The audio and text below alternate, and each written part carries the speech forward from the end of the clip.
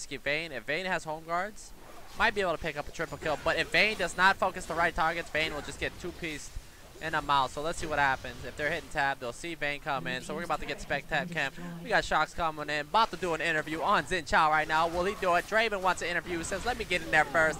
And no interview will be done today. Later. Boom, Maokai 420 blazing that shit up. Boom, drops the motherfucking ult. There's the slow. Boom, 420 laser beam to your motherfucking mouth. Where's the commitment? There it is. Throws a fucking wrench at him. Peace.